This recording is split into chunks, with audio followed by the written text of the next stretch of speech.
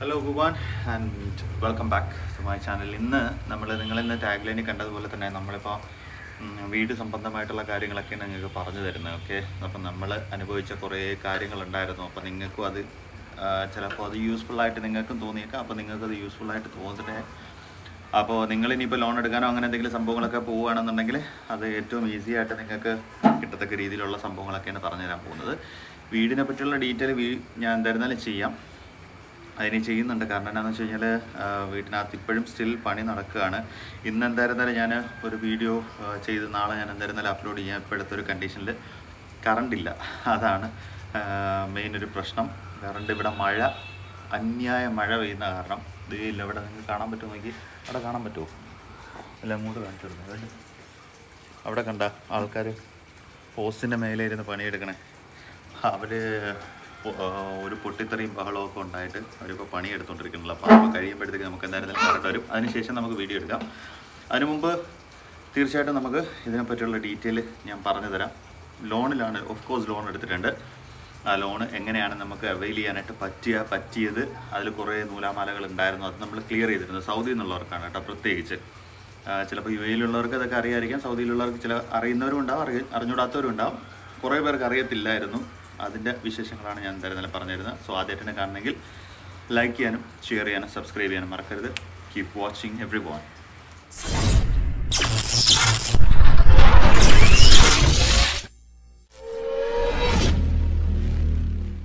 ഞങ്ങൾക്ക് ഇതിൽ ഫസ്റ്റ് ഉണ്ടായിരുന്ന ഏറ്റവും വലിയൊരു ടാസ്ക് എന്താണെന്ന് വെച്ച് കഴിഞ്ഞാൽ നമ്മുടെ ഈ ഒരു ഏരിയ അല്ലെങ്കിൽ ഈ ഒരു സ്ഥലം എന്ന് പറയുന്നത് പിന്നെ രണ്ട് മൂന്ന് നാല് അഞ്ച് പേരുടെ സ്ഥലമാണ്. ഓക്കെ ഇങ്ങനെ നീളത്തിന് ഒരു അഞ്ച് പേരുടെ സ്ഥലമായിരുന്നു. പ്ലസ് ഇതെല്ലാം ഒരു ഏതൊരു രാജകുടുംബത്തിന്റെ കീഴിൽ വരുന്ന ഒരു പ്രോപ്പർട്ടി ആയിരുന്നു പണ്ട് വളരെ കാലങ്ങൾക്ക് മുന്നേ. അപ്പോൾ അതിനുശേഷം അതിങ്ങനെ കൈമാറി കൈമാറി എന്താ പറയുന്നത് അതിന്? മക്കൾ മക്ക- മക്കത്തായോ? അങ്ങനെ എന്തോ സംഭവം. ആ അതിലിങ്ങനെ മാറി മാറി മാറി മാറി വന്ന ഒരു പോഷനാണ് ഇപ്പം ഞങ്ങൾ എടുത്തേക്കുന്നത് ഇത് രണ്ട് പേരുടെ പോഷൻ ഞങ്ങൾ ഒരുമിച്ച് പിന്നെ എടുത്തേക്കുന്നതാണ്. അപ്പോൾ ഇതിലുണ്ടായിരുന്ന ഏറ്റവും വലിയ പ്രശ്നം എന്താണെന്ന് വെച്ച് കഴിഞ്ഞാൽ ഇപ്പൊ നമ്മൾ ലോൺ എടുക്കുമ്പോഴത്തേക്ക് ആദ്യം ശ്രദ്ധിക്കേണ്ട മൂന്ന് കാര്യങ്ങൾ ബ്ലോക്ക് പഞ്ചായത്ത് വില്ലേജ് ഇങ്ങനെ മൂന്നിടത്തും ഈ എടുക്കുന്ന സ്ഥലം നമ്മൾ എടുത്ത ഈ ഒരു പ്രോപ്പർട്ടി ഭൂമിയായിട്ട് തന്നെയാണോ രജിസ്റ്റർ ചെയ്തിട്ടുള്ളത് എന്നുള്ളത് ഉറപ്പ് വരുത്തണം. കാരണം എന്താണെന്ന് വെച്ച് കഴിഞ്ഞാൽ ലോൺ എടുക്കാനായിട്ട് ചെല്ലുമ്പോഴത്തേക്കും മിക്കപ്പോഴും ഈ ഏരിയ നമ്മൾ എടുക്കാനായിട്ട് ചെന്നപ്പോഴത്തേക്ക് പഞ്ചായത്തിലും വില്ലേജിലും അല്ലേ? വില്ലേജിലും ഓക്കെ ആയിരുന്നു. പക്ഷേ ബ്ലോക്കിൽ വന്നപ്പോഴത്തേക്ക് ഈ സ്ഥലം രജിസ്റ്റർ ചെയ്തേക്കുന്നത് എന്താണ്? കൃഷി ആവശ്യത്തിന്. അല്ലേ? അങ്ങനല്ലേ? തോട്ടം തോട്ടമായിട്ട്. തോട്ടമായിട്ടാണ് രജിസ്റ്റർ ചെയ്തത്. അപ്പോൾ തോട്ടം സ്ഥലങ്ങൾ ഒരിക്കലും അത് പിന്നെ വീട് വെക്കാനായിട്ട് സമ്മതിക്കത്തില്ല. അപ്പോൾ അത് നമ്മൾ മാറ്റി അത് തോട്ടം അല്ല എന്ന് നമ്മൾ തെളിയിക്കുന്ന രീതിയിലാക്കിയാൽ മാത്രമേ നമുക്ക് ലോണിന് അപ്ലൈ ചെയ്യാനായിട്ട് പറ്റത്തുള്ളൂ. തോട്ടം ഒരിക്കലും ലോണിന് അത്രയും വലിയൊരു എമൗണ്ട് ഹൗസിംഗ് ഹോം ലോണിന് നമുക്ക് അപ്ലൈ ചെയ്യാനായിട്ട് പറ്റത്തില്ല. അപ്പോൾ അത് കാരണം അത് വളരെയധികം സൂക്ഷിക്കുക. ഞാൻ ഈ പറയുന്ന ലോൺ എടുക്കുന്ന സംഭവം എസ് ബി ഐ അതായത് സ്റ്റേറ്റ് ബാങ്ക് ഓഫ് ഇന്ത്യയുടെ റൂൾസ് ആണ്. അതിലേക്ക് നമ്മൾ ക്ലിയർ ചെയ്ത് കഴിഞ്ഞാൽ നമുക്ക് ഈസി ആയിട്ട് മറ്റേത് ലോണും നമുക്ക് ക്ലിയർ ചെയ്യാനായിട്ട് പറ്റും. സൗദി അറേബ്യ എന്നാണ് നിങ്ങൾ വർക്ക് ചെയ്യുന്നത് അല്ലെങ്കിൽ സൗദിയിലുള്ള ജോലിയാണ് നിങ്ങൾ ചെയ്യുന്നത് എന്നുണ്ടെന്നുണ്ടെങ്കിൽ നമ്മൾ സാധാരണ രീതിയിൽ ചെയ്യാറുള്ളത് പോലെ കെ വൈ സി അതായത് നോ യുവർ കസ്റ്റമർ അതിന്റെ ഒരു ഡീറ്റെയിൽ ഉണ്ടാവും. ആൻഡ് ഒരു എൻ ആർ അക്കൗണ്ട് ഹോൾഡർ ആയിരിക്കണം. അതായത് ബാങ്കിൽ ഇതേ ബാങ്കിൽ അക്കൗണ്ട് ഹോൾഡർ ആയിരിക്കണം. അതിന്റെ സ്റ്റേറ്റ്മെന്റ്സ് വേണം. സൗദിയിലുള്ള ബാങ്കിന്റെ സ്റ്റേറ്റ്മെന്റ് സൗദിയിലുള്ള ബാങ്കിന്റെ സ്റ്റേറ്റ്മെന്റ് നമുക്ക് രണ്ട് തരത്തിൽ നമുക്ക് ലഭിക്കുന്നുണ്ട്. അതായത് ഒന്ന് നമുക്ക് ഓൺലൈനായിട്ട് തന്നെ അപ്ലൈ ചെയ്യാനായിട്ട് പറ്റും. അതായത് ഓൺലൈനിൽ നമുക്ക് സ്റ്റേറ്റ്മെന്റ് എടുക്കാനായിട്ട് പറ്റും. പക്ഷേ അതല്ലാണ്ട് ചില ബാങ്കിന് കാരണം അഞ്ജുവിന്റെ ബാങ്കിൽ എടുക്കാനായിട്ട് ചെന്നപ്പോഴത്തേക്ക് അത് ഓൺലൈനിൽ നമുക്ക് എടുക്കാനായിട്ട് പറ്റുന്നില്ലായിരുന്നു. ഓൺലൈൻ സ്റ്റാമ്പിംഗ് ഇല്ലാത്തത് കൊണ്ടിട്ട് നമ്മൾ നേരിട്ട് ബാങ്കിൽ പോയി സ്റ്റേറ്റ്മെന്റ് എടുത്ത് അത് സ്റ്റാമ്പ് ചെയ്തായിരുന്നു കൊണ്ടുവന്നിരുന്നത്. പക്ഷേ ഞാൻ എന്റെ ഫറൻസി ബാങ്ക് ആയിരുന്നു സൗദി ഫറൻസി ബാങ്ക് ആയിരുന്നു കൊണ്ടിട്ട്. അതിനകത്ത് ഓൺലൈനിൽ ഓൾറെഡി സ്റ്റാമ്പ്ഡ് അറ്റസ്റ്റഡ് ആയിരുന്നു. ഓൺലൈൻ അറ്റസ്റ്റഡ് ആയിട്ടുള്ള പിന്നെ സ്റ്റേറ്റ്മെന്റ് ആയിരുന്നു നമുക്ക് കിട്ടിയത്. സിക്സ് മന്ത്സ് റണ്ണിങ് സ്റ്റേറ്റ്മെന്റ് നമുക്ക് കിട്ടണമായിരുന്നു. അപ്പോൾ ബാങ്ക് സ്റ്റേറ്റ്മെന്റ്സ് എല്ലാം ക്ലിയർ ചെയ്യുക പിന്നെ വേണ്ടതെന്ന് പറഞ്ഞാൽ നമ്മുടെ ജോബ് കോൺട്രാക്റ്റ് ജോബ് കോൺട്രാക്റ്റ് എടുക്കുമ്പോഴത്തേക്ക് കമ്പനിയിൽ നിന്ന് തരുന്ന ജോബ് കോൺട്രാക്റ്റ് അല്ല വേണ്ടത്. അതായത് നമ്മുടെ ഓൺലൈനിൽ അപ്ലൈ ചെയ്യുമ്പോഴത്തേക്ക് അതായത് പുതിയൊരു നിയമപ്രകാരം നമുക്ക് ഓൺലൈൻ അതായത് നമ്മുടെ എന്തായിരുന്നു കിവ. കിവ. പോർട്ടൽ വഴി നമുക്ക് കിട്ടുന്ന ആ കോൺട്രാക്റ്റാണ് നമ്മൾ പ്രിന്റ് ഔട്ട് എടുക്കേണ്ടത്. കാരണം അതാണ് ഓൺലൈൻ അറ്റസ്റ്റഡ് ആയിട്ടുള്ള സംഭവം. അതിനുശേഷം നമ്മുടെ പാസ്പോർട്ട് ഇക്കാമ ഇതെല്ലാം ഇക്കാമ അറബിക്കിലായതുകൊണ്ടിട്ട് അതിനെ ട്രാൻസ്ലേറ്റ് ചെയ്ത് എംബസിയിൽ ടെസ്റ്റ് ചെയ്ത് പാസ്പോർട്ടും ഇക്കാമയും അറ്റസ്റ്റ് ചെയ്താൽ മാത്രമേ ഇവിടെ അക്സെപ്റ്റ് ചെയ്യത്തുള്ളൂ. ഓക്കെ അത് പിന്നെ വാലിഡ് ആണ് എന്ന് തെളിയിക്കുന്ന രീതിയിൽ നമ്മൾ അപ്ഷർ പ്രിന്റ് ഔട്ട് എടുത്ത് അതുകൂടെ സബ്മിറ്റ് ചെയ്ത് വി എഫ് എസിൽ പോയി അറ്റസ്റ്റ് ചെയ്താൽ മാത്രമേ അത് അക്സെപ്റ്റ് ചെയ്യത്തുള്ളൂ നമ്മുടെ ഇവിടെ. അതിനുശേഷം അവർ ചോദിച്ച വേറൊരു സംഭവമായിരുന്നു ഓവർസീസ് ക്രെഡിറ്റ് റിപ്പോർട്ട് ഈ സംഭവം സൗദി അറേബ്യയിൽ മിക്കവർക്കും അറിയത്തില്ലായിരുന്നു. കാരണം യു എയിലൊക്കെ ഓക്കെ ഓവർസീസ് ക്രെഡിറ്റ് റിപ്പോർട്ട് എന്ന് പറഞ്ഞ സംഭവം എല്ലാവർക്കും അറിയാമായിരുന്നു. പെട്ടെന്ന് നമ്മൾ ചോദിച്ചപ്പോഴത്തേക്ക് അതൊരു ക്രെഡിറ്റ് റിപ്പോർട്ടാണ് അവിടെ വേറെന്തോ ഒരു പേരാണ് പറയപ്പെടുന്നതും. അപ്പോൾ ആ ക്രെഡിറ്റ് റിപ്പോർട്ട് അതായത് ഇതുവരെ നമ്മൾ എന്തെങ്കിലും ക്രെഡിറ്റ് മറ്റ് രാജ്യങ്ങളിൽ നിന്ന് എടുത്തിട്ടുണ്ടെന്നുണ്ടെങ്കിൽ അതിന്റെ ഒരു റിപ്പോർട്ടാണ് അവർ ചോദിക്കുന്നത്. അതായത് നമ്മൾ അവിടെ എത്തിയത് മുതൽ ഇന്ന് വരെ അപ് ടു ഡേറ്റ് വരെ ആയിട്ടുള്ള എന്ത് ലോൺ എടുത്തിട്ടുണ്ടോ അല്ലെങ്കിൽ എന്തെങ്കിലും പേയ്മെന്റ്സ് ബാക്കിയുണ്ടെന്നുണ്ടെങ്കിൽ അതെല്ലാം അതിനകത്ത് അറിയപ്പെടും. അപ്പോൾ അത് ഞാൻ സൗദി അറേബ്യയിൽ ചോദിച്ചപ്പോഴത്തേക്ക് മിക്കവർക്കും അതിനെപ്പറ്റി അറിയത്തില്ലായിരുന്നു. അപ്പോൾ അത് എങ്ങനെ എടുക്കുമെന്നൊക്കെ ആകെ കൺഫ്യൂഷൻ ആയിരുന്നു. ഞാൻ എന്തായാലും ഒരു ലിങ്ക് ഞാൻ താഴെ കൊടുത്തേക്കാം. നിങ്ങൾ എന്തെങ്കിലും അങ്ങനെ ഒരു സംഭവം ലോണിന് സബ്മിറ്റ് ചെയ്യുകയാണെന്നുണ്ടെങ്കിൽ അങ്ങനെ ഒരു ഡോക്യുമെന്റ് കൂടെ വെച്ചാൽ മാത്രമേ നമുക്ക് ഈസി ആയിട്ട് ലോണ് പാസ് ആവത്തുള്ളൂ. അതെല്ലാ ബാങ്കിലും അങ്ങനെ തന്നെയാണ്. ഇപ്പോൾ അത് റൂൾ വന്നിട്ടുണ്ട്. ആ സിം സിം സിംന എന്ന് പറഞ്ഞൊരു വെബ്സൈറ്റാണ് സൗദിയുടെ ഒരു പുതിയ വെബ്സൈറ്റാണ് അത് ഫുള്ളി കണ്ടീഷനഡ് ആയിട്ട് വന്നിട്ടില്ല. ഇപ്പോഴും ഒരു പാർഷ്യൽ കണ്ടീഷനിലായിട്ടുള്ളൂ പക്ഷേ അത് ഫുൾ ഫ്ലെഷ്ഡ് ആയിട്ട് ഓൺലൈനായിട്ട് വരുന്നുണ്ട്. അതായത് അതിൽ നമുക്ക് ചെറിയൊരു പേയ്മെന്റ് കൊടുക്കേണ്ടതായിട്ടുണ്ട്. പക്ഷേ ഫ്രീ ആയിട്ട് ആക്സസ് ചെയ്യാൻ പറ്റുന്ന ചില ഓപ്ഷൻസുകൾ മാത്രമുണ്ട്. അതിൽ ഒന്നാണ് ക്രെഡിറ്റ് റിപ്പോർട്ട് ഇപ്പോൾ ഫ്രീ ആണ്. ഇൻ ഫ്യൂച്ചർ അത് ചിലപ്പോൾ പേയ്മെന്റിലേക്ക് മാറാനായിട്ട് സാധ്യതയുണ്ട്. കാരണം ആ ഒരു വെബ്സൈറ്റിൽ അങ്ങനെയാണ് കാണിക്കുന്നത്. നമുക്ക് അതിനകത്ത് പിന്നെ ഇത്ര പേയ്മെന്റ് വരും അല്ലെങ്കിൽ ഇത്ര പേയ്മെന്റ് കൊടുക്കേണ്ടതായിട്ട് വരും എന്നുള്ള പതിനാറ് റിയാലോ പതിനേഴ് റിയാലോ അങ്ങോട്ട് കൊടുക്കേണ്ടതായിട്ട് വരും എന്നുള്ളത് അതിനകത്ത് ഓൾറെഡി മെൻഷൻ ചെയ്തിട്ടുണ്ട്. ഇപ്പോൾ അറ്റ് പ്രസന്റ് ഞാൻ എടുത്ത സമയത്ത് അത് ഫ്രീ ആയിരുന്നു.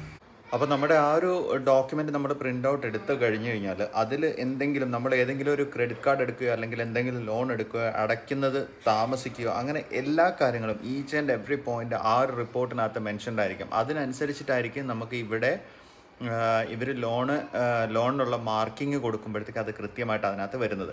എനിക്ക് തോന്നുന്നു എന്റെ അടുത്ത് പറഞ്ഞ സ്ഥിതിക്കാണെങ്കിൽ സെവൻ ഫിഫ്റ്റി പോയിന്റ് എങ്ങാണ്ട് വരണം നമുക്ക് ആ ലോൺ അവൈൽ ചെയ്ത് കിട്ടാനായിട്ട്. അത് ഓരോരുത്തർ കൊടുക്കുന്ന ആ ഒരു ബഡ്ജറ്റിനനുസരിച്ചിട്ടായിരിക്കും അത് വരിക. അപ്പോൾ ഈ സെവൻ ഫിഫ്റ്റി പോയിന്റ് വരണമെന്ന് പറഞ്ഞു കഴിഞ്ഞാൽ അത് വന്നിട്ടില്ല എന്നുണ്ടെങ്കിൽ നമ്മൾ കൃത്യമായിട്ട് അടച്ചിട്ടില്ല അല്ലെങ്കിൽ അങ്ങനെ എന്തെങ്കിലും റിപ്പോർട്ട് ഇതിലുണ്ടെങ്കിൽ പോലും നമ്മുടെ പേര് സിബിലിൽ കയറും. സിബിലിൽ കയറി കഴിഞ്ഞാൽ പിന്നെ ലോൺ കിട്ടുന്നത് ഭയങ്കര ടഫായിരിക്കും അപ്പോൾ നമ്മൾ ആ സൗദി എന്ന് പറയുന്ന ആ ഒരു ഡോക്യുമെന്റ്സ് അതായത് നമ്മൾ ആയിട്ട് നിൽക്കുമ്പോഴത്തേക്ക് നമ്മൾ കിട്ടേണ്ട ഡോക്യുമെന്റ് ബാങ്ക് സ്റ്റേറ്റ്മെന്റ് നമ്മുടെ കോൺട്രാക്ട് ജോബ് കോൺട്രാക്ട് അതുപോലെ ഈ പറഞ്ഞ സിംന എന്ന് പറഞ്ഞ ആ ഒരു സൈറ്റിനകത്ത് നിന്ന് കിട്ടുന്ന ഓവർസീസ് ക്രെഡിറ്റ് റിപ്പോർട്ട് അങ്ങനെയല്ല അത് പറയുന്നത് ക്രെഡിറ്റ് റിപ്പോർട്ട് എന്ന് മാത്രമേ അതിനകത്ത് മെൻഷൻ ചെയ്തിട്ടുണ്ടാവത്തുള്ളൂ.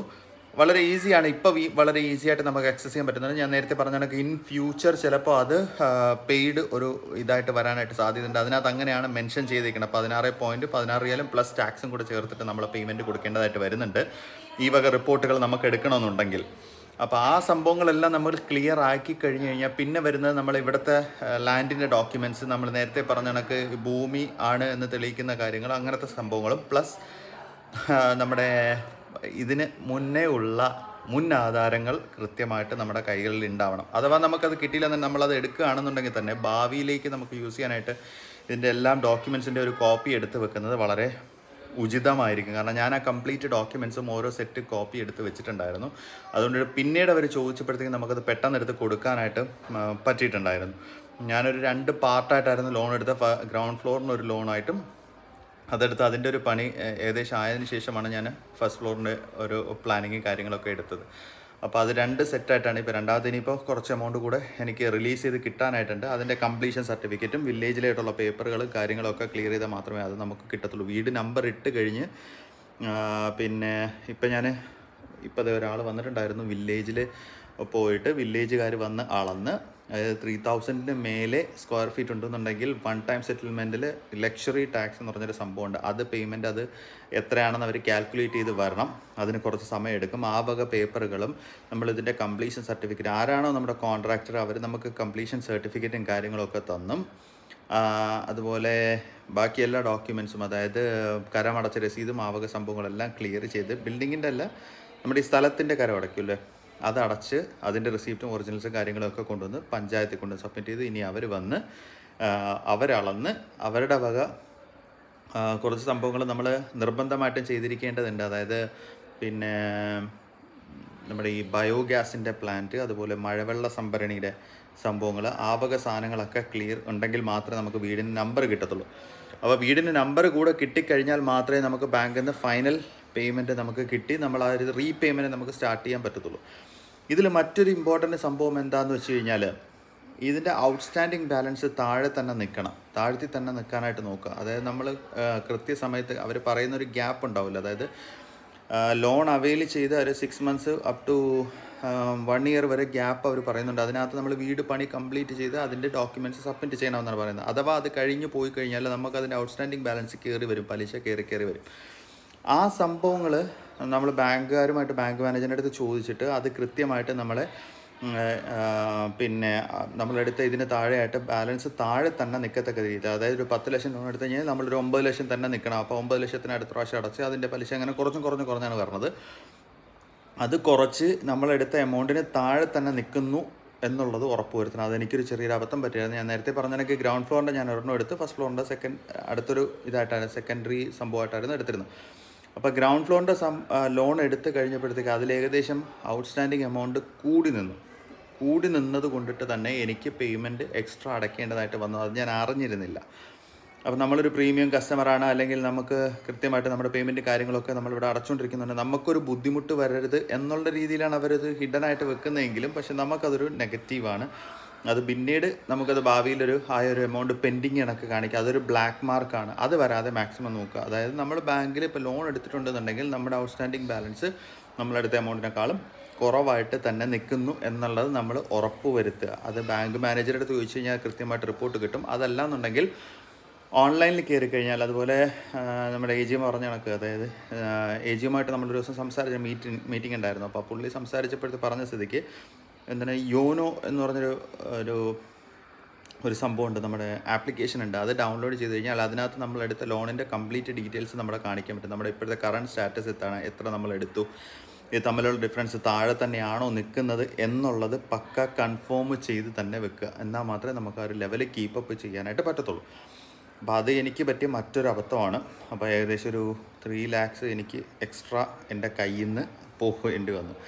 അത് കൃത്യമായിട്ടൊരു പേപ്പർ സബ്മിറ്റ് ചെയ്യാത്തതിന്റെ ഒരു പ്രശ്നം കൊണ്ടിട്ടും ആ ഒരു ഇടവേളകളിൽ കൃത്യമായിട്ട് നമ്മൾ എമൗണ്ട് പിന്നെ ബാങ്കിൽ നിന്ന് എടുക്കാത്തത് കൊണ്ടിട്ടുള്ള പ്രശ്നങ്ങൾ കൊണ്ടിട്ടും കുറച്ച് പൈസകൾ നമുക്ക് നല്ല രീതിയിൽ നഷ്ടം വന്നു അപ്പോൾ അതൊന്നും വരാതെ മാക്സിമം നോക്കുക. ഇതെന്റെ അനുഭവങ്ങളാണ് കഴിച്ചത് നമ്മളിപ്പോൾ പറയുന്നത് നിങ്ങളിനി ഭാവിയിൽ എപ്പോഴെങ്കിലും എടുക്കാനായിട്ട് പോവുകയാണെന്നുണ്ടെങ്കിൽ നിങ്ങൾക്കും അതൊരു ഇതായിട്ടിരിക്കട്ടെ. ഈ പേപ്പേഴ്സും പേപ്പർ വർക്കുകളും കൃത്യമായിട്ടാണെന്നുണ്ടെങ്കിൽ എന്റെ ഒരു അഭിപ്രായ പ്രകാരം പ്രൈവറ്റ് ബാങ്കുകളെക്കാളും ഏറ്റവും സേഫ് ഇതുപോലത്തെ S P T S B I പോലത്തെ ബാങ്കുകളിൽ നിന്ന് നമ്മൾ ലോൺ അവൈൽ ചെയ്യുന്നതായിരിക്കും ഏറ്റവും ഉചിതം. ഇവിടെ നിന്ന് ഇനി അവൈൽ ചെയ്ത് ഇവിടെ നിന്ന് ഈ ഡേറ്റ ഫ്ലോ കംപ്ലീറ്റ് പക്ക ആയി കഴിഞ്ഞാൽ നമുക്ക് ഇതിന് മേലെ ഇനിയിപ്പോൾ ലോൺ എടുക്കണമെന്നുണ്ടെങ്കിൽ അല്ലെങ്കിൽ പിന്നീട് ഇതെല്ലാം അടച്ചു കഴിഞ്ഞതിന് ശേഷം പിന്നീട് നമുക്ക് എടുക്കാനായിട്ട് സാധിക്കുന്നുണ്ടെങ്കിൽ അതും ഉപകാരപ്രദമായിരിക്കും. പിന്നെ അവർ ഏറ്റവും എടുത്തു പറഞ്ഞ വേറൊരു സംഭവം എന്താണെന്ന് വെച്ച് കഴിഞ്ഞാൽ നമ്മൾ ഈ അടയ്ക്കുന്ന ഒരു ഡേറ്റ് ഉണ്ടാവില്ല അതായത് ഒന്നാം തീയതി രണ്ടാം തീയതി മൂന്നാം തീയതി നമ്മൾ പൈസ അടയ്ക്കുന്ന ഒരു ഡേറ്റ് ഉണ്ടാവും. പത്താം തീയതിയാണ് അവർ പത്താം തീയതിക്കകത്താണ് അവർ ആ പേയ്മെന്റ് കട്ടാവുന്ന ഒരു ഡേറ്റ് അല്ലെങ്കിൽ നമുക്ക് ഡേറ്റ് എഴുതി കൊടുക്കുക ഇത്രാം തീയതി നമുക്ക് അതിനകത്ത് നിന്ന് കട്ടാവണം എന്നുള്ളത്. നമ്മുടെ എമൗണ്ട് നമ്മുടെ അക്കൗണ്ട് ഏത് അക്കൗണ്ടിൽ നിന്നാണോ ആ അക്കൗണ്ടിൽ നിന്ന് കട്ടാവണം നമുക്ക് എഴുതി കൊടുക്കാം. ആ ഡേറ്റിൽ ശേഷം നമ്മളൊരു ബൾക്ക് എമൗണ്ട് പേ ചെയ്യുകയാണെന്നുണ്ടെങ്കിൽ അത് നേരെ ഇതിന്റെ ഒറിജിനൽ അതായത് നമ്മൾ എത്രയാണോ എമൗണ്ട് എടുത്തത് അതിന്റെ പലിശ അല്ലാതെ മുതലിലേക്ക് ഇത് കാൽക്കുലേറ്റ് ചെയ്യപ്പെടും. അത് നമുക്ക് അടുത്ത മാസം വരുമ്പോഴത്തേക്ക് ഈ ഒരു ബാധ്യത കുറഞ്ഞുകൊണ്ടേയിരിക്കും. അതൊരു ബൾക്ക് എമൗണ്ട് നമ്മൾ ഒരു ത്രീ മന്ത്സ് ഫോർ മന്ത്സ് ആകുമ്പോഴത്തേക്ക് അടയ്ക്കാനായിട്ട് ശ്രമിക്കുക. അപ്പോൾ നമുക്ക് ഈ ബാലൻസ് ചെയ്ത് നിൽക്കുകയും ചെയ്യും. നമുക്ക് പിന്നെ വരുന്ന പലിശ കുറഞ്ഞ് കുറഞ്ഞ് കുറഞ്ഞ് തന്നെ വരികയും ചെയ്യും. ഇതൊക്കെയായിരുന്നു എനിക്ക് കിട്ടിയ കുറേ സംഭവങ്ങൾ അല്ലെങ്കിൽ എനിക്ക് എനിക്കുണ്ടായ കുറേ അനുഭവങ്ങൾ ഇപ്പോൾ ഏകദേശം തീർന്നു എന്ന് ഞാൻ പറയുന്നില്ല. ബട്ട് സ്റ്റിൽ ഇനിയും ഒരുപാട് കാര്യങ്ങൾ എനിക്ക് ചെയ്ത് തീർക്കേണ്ടതായിട്ടുണ്ട്. ഇന്നും ഇപ്പോൾ പണിക്കാർ പണിക്കാർ കൃത്യമായിട്ട് വന്നു കഴിഞ്ഞാൽ തന്നെ നമ്മുടെ പ്രശ്നങ്ങൾ പകുതി കൂടുതൽ സോൾവ് ആവും. അവർ നമുക്ക് കിട്ടണമെന്നില്ല. അവർ കൃത്യമായിട്ട് വരണമെന്നില്ല. ഇവിടെ പകുതി ചെയ്ത് പിന്നെ ബാക്കി അവരെ കാണാനായിട്ട്. ഇപ്പോൾ ഒരു മൂന്ന് ദിവസമായിട്ട് രണ്ടുപേരെ തപ്പി ഞാൻ നടക്കുന്ന അവസ്ഥയാണ്. ബാക്കി നമ്മൾ എക്സ്ട്രാ ചെയ്തുകൊണ്ടിരിക്കുകയാണ്. നമുക്ക് കയ്യിൽ നിന്ന് കൈ നഷ്ടവും വരികയാണ്. ഒരു മൊത്തമായിട്ട് കൊടുക്കുകയാണെങ്കിൽ പോലും നമ്മുടെ ഒരു കണ്ണ് ഇല്ല എന്നുണ്ടെങ്കിൽ അത് നടക്കില്ല. അപ്പോൾ അത് നമ്മളിപ്പോൾ എന്തെങ്കിലും ഒരു സംഭവം ഒരു ഒരു മൊത്തമായിട്ട് നമ്മളൊരു ആൾക്ക് കൊടുത്തിട്ടുണ്ട് എന്നുണ്ടെങ്കിൽ അത് നമ്മുടെ ഒരു കണ്ണ് അതിനകത്ത് എപ്പോഴും ഉണ്ടാവണം. എപ്പോഴും അതിനകത്ത് പിന്നെ നമ്മൾ ശ്രദ്ധ വേണം. അല്ലെങ്കിൽ ഒരാൾ അത് എപ്പോഴും നോക്കി നടത്താനായിട്ട് ഒരാൾ ഉണ്ടാവണം. ഇപ്പം നമ്മുടെ ഒരു അളിയൻ ചെക്കനുണ്ട്. അതായത് അനിയൻ വൈഫിന്റെ അഞ്ജുവിന്റെ അനിയനായിരുന്നു ഇപ്പോഴൊക്കെ കാര്യങ്ങളൊക്കെ നോക്കിക്കൊണ്ടിരുന്നത്. എന്നിരുന്നാൽ പോലും അതിലും കുറേ പ്രശ്നങ്ങൾ നമുക്ക് ഫേസ് ചെയ്യേണ്ടതായിട്ട് വന്നിട്ടുണ്ട്. കൃത്യസമയത്ത് അവർ വരാതിരിക്കുമ്പോഴത്തേക്ക് ഉണ്ടാവുന്ന പ്രശ്നങ്ങൾ ഫോൾസ് ഒക്കെ ഉണ്ടായിട്ടുണ്ട്. അപ്പോൾ അതൊക്കെ ഒന്ന് ശ്രദ്ധിക്കുക. ബാക്കി ഡോക്യുമെന്റ്സ് കാര്യങ്ങളൊക്കെ താഴെ ഞാൻ ഡിസ്ക്രിപ്ഷനിൽ ഞാൻ എന്തായിരുന്നാലും കൊടുത്തേക്ക് എന്തൊക്കെയായിരുന്നു ഡോക്യുമെന്റ്സ് നമ്മൾ സബ്മിറ്റ് ചെയ്യേണ്ടി വരുന്നത് എന്നുള്ള ഞാൻ ഡോക്യുമെന്റ്സിന്റെ ഡീറ്റെയിൽസ് ഞാൻ താഴെ കൊടുത്തിട്ടുണ്ട്. ആൻഡ് ഓൾസോ നമ്മുടെ മറ്റേ വെബ്സൈറ്റിന്റെ ഡീറ്റെയിൽ ഞാൻ താഴെ കൊടുത്തിട്ടുണ്ട്. അപ്പോൾ തീർച്ചയായിട്ടും അത് നിങ്ങൾ നോക്കുക. എന്തെങ്കിലും ഡൗട്ട് ഉണ്ടെന്നുണ്ടെങ്കിൽ എനിക്ക് അറിയുന്നതാണെന്നുണ്ടെങ്കിൽ ഞാൻ നിങ്ങൾക്ക് റിപ്ലൈ ചെയ്യാം. അറിയാത്തതാണെന്നുണ്ടെങ്കിൽ ഞാൻ ചോദിച്ചിട്ട് ഞാൻ നിങ്ങൾക്ക് കൃത്യമായിട്ട് റിപ്ലൈ ചെയ്യാനായിട്ട് ശ്രമിക്കാം. ഓക്കെ അപ്പോൾ എന്തെങ്കിലും ഡൗട്ടൊക്കെ ഉണ്ടെന്നുണ്ടെങ്കിൽ നിങ്ങൾക്ക് തീർച്ചയായിട്ടും കമന്റ് ചെയ്യാതെ അപ്പോൾ ഞാൻ പറഞ്ഞതിൽ എന്തെങ്കിലും പ്രശ്നങ്ങൾ ഉണ്ടെന്നുണ്ടെങ്കിൽ അതും ഒന്ന് കമന്റ് ചെയ്യുക ഗൈസ് കാരണം എനിക്കും അതൊരു ഉപകാരമായിരിക്കില്ല. എനിക്ക് അറിഞ്ഞൂടാത്ത കാര്യങ്ങളാണ് നിങ്ങൾ കമന്റ് ചെയ്യുന്നുണ്ടെങ്കിൽ അതും എനിക്ക് ക്ലിയർ ചെയ്യാനായിട്ട് പറ്റുമല്ലോ. So please thank so much for you great support തീർച്ചയായിട്ടും നമുക്ക് മറ്റൊരു വീഡിയോ വീണ്ടും കാണാം. കമന്റ് ചെയ്യാൻ മറക്കരുത്. ബൈ